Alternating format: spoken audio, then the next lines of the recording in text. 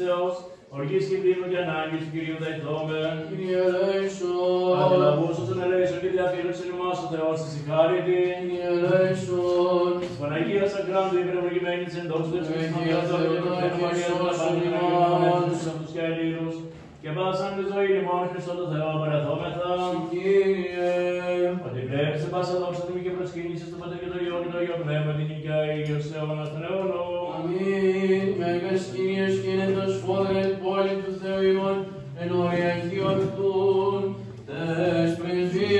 Πρεσβείες της Θεοτόκου, σώτερ σώσον ημάς.